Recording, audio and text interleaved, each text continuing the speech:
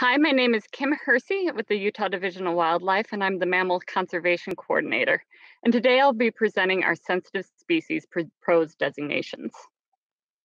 The sensitive species rule establishes the process for designation of species and what species should be included. It also establishes a review committee that looks at those recommendations before they come to the Wildlife Board. The rule was updated in 2018 by the board and uh, included a couple changes. The first was previously endangered species or threatened species on the federal list were automatically included, and that's no longer the case. And we also removed a habitat designation that had never been used. Because it's been quite a while since we brought this list to the board, and also because of those rule updates, we looked at this as a full rule uh, designation revision and uh, looked at all the species in the state of Utah for possible inclusion.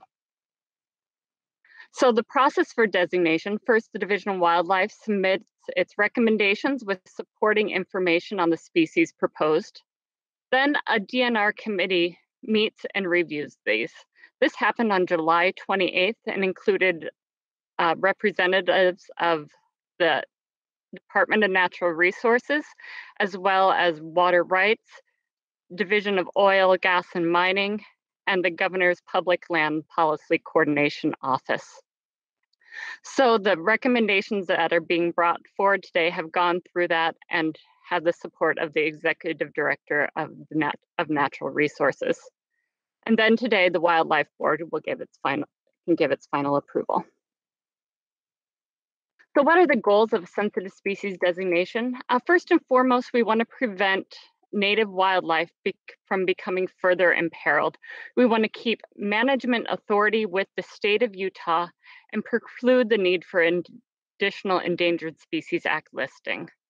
Um, with that, we can develop and prioritize research and management efforts and also inform natural resource management in the state. Again, we're trying to identify species that need conservation attention, and that can come in many different forms from traditional wildlife management activities like dealing with diseases or uh, transplants, habitat restoration, reducing impacts of projects on species.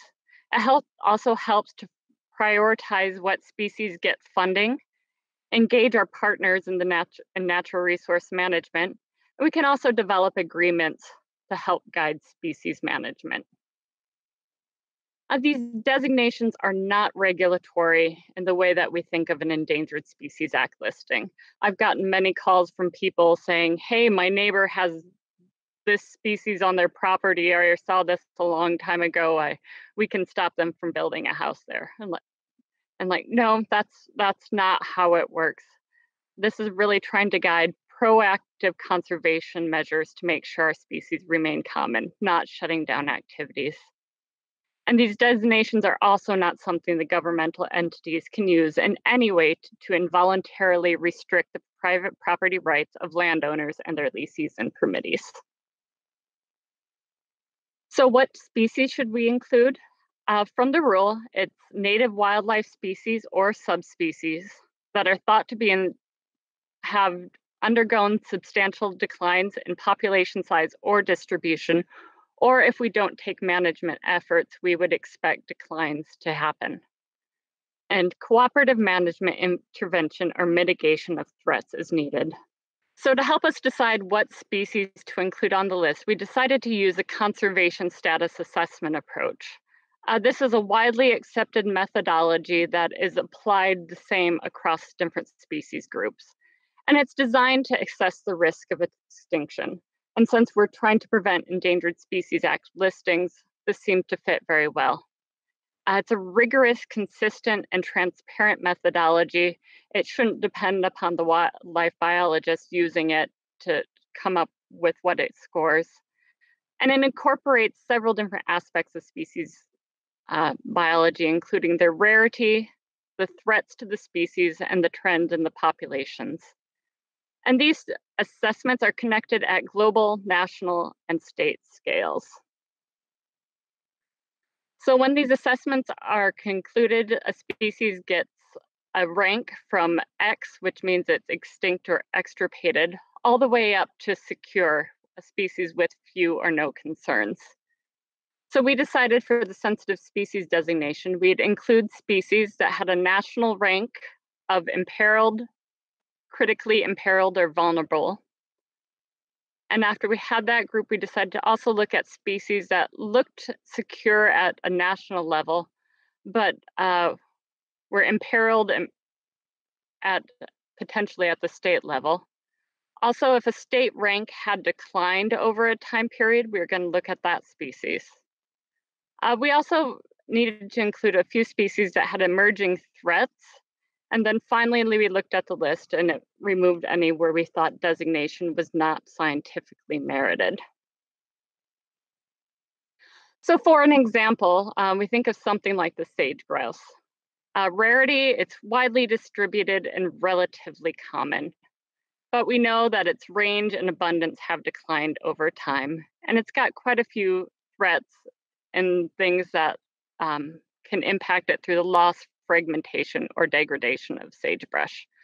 So the species is uh, thought to be three or vulnerable at a range-wide scale, and also vulnerable in the state of Utah.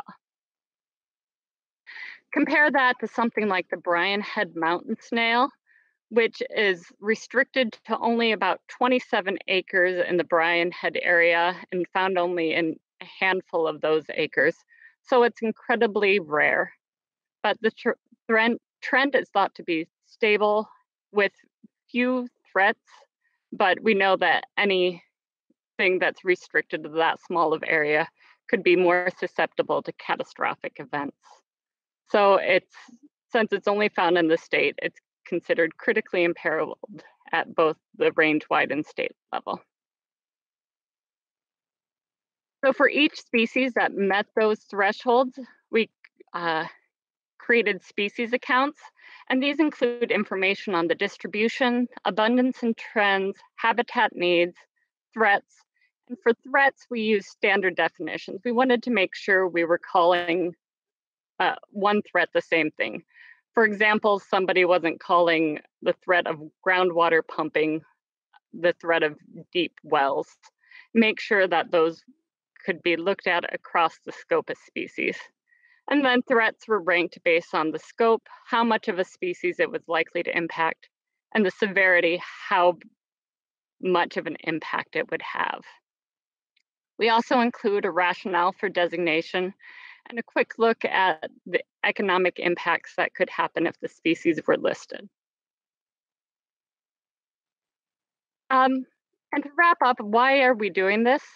Well, we've had quite a, a, great track record in listing prevention over the last 20 years or so that we've had the sensitive species designation. Uh, many species have been petitioned, and we've gotten around 20 not warranted finding over that time period. Uh, and that's as compared to only three new Endangered Species Act listing.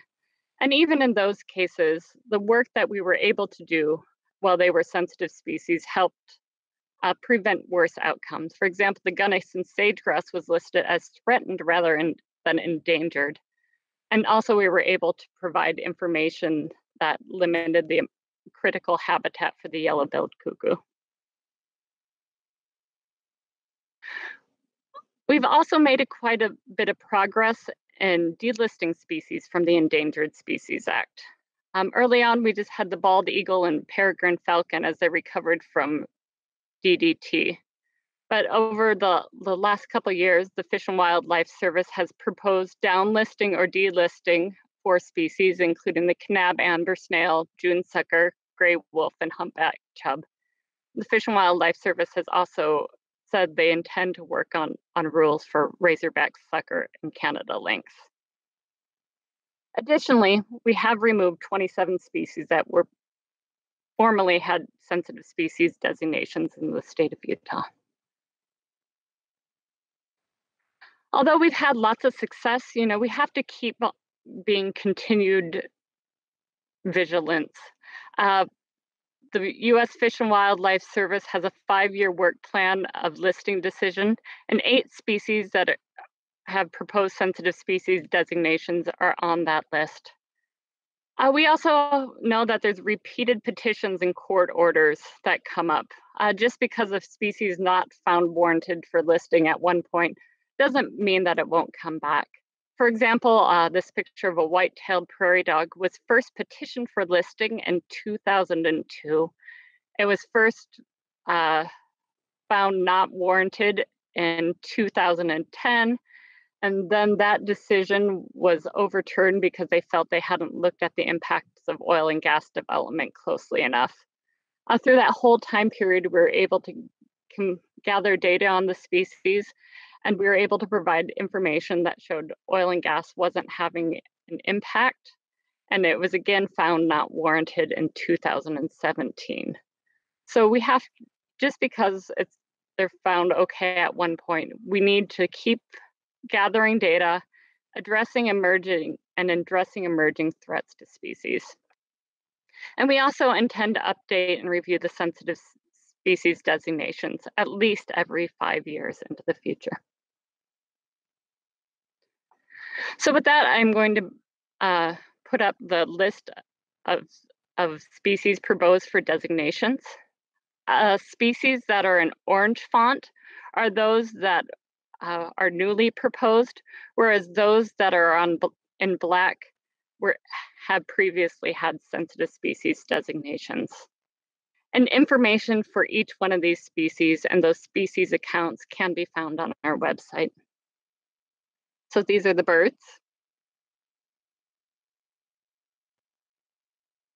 For fish, there are no new proposed species and a handful were removed.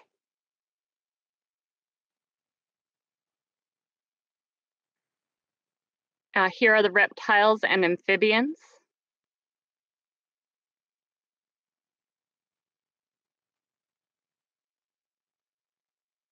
We also have two pages worth of invertebrates. Uh, most of these are narrowly endemic species found in only a very small area.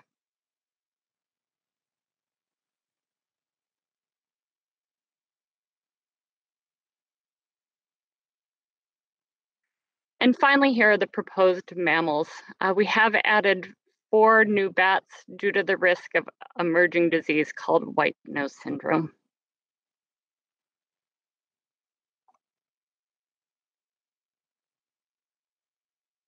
Thank you very much for your time, and I look forward to your questions.